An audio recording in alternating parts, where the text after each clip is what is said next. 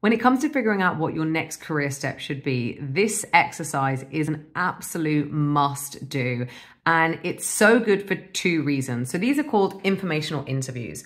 So let's say you have a few different ideas of what it is you want to do next. Maybe you're looking at different industries or slightly different roles. You're going to find people who are doing the job that you're thinking you might want to do. You're going to reach out to them and you're going to basically interview them. This does two things. One, you're actually going to get information. What is this job really like? You know, what is the company really like? So this isn't just reading documents. You're actually going to speak to someone and get everything from them about this role.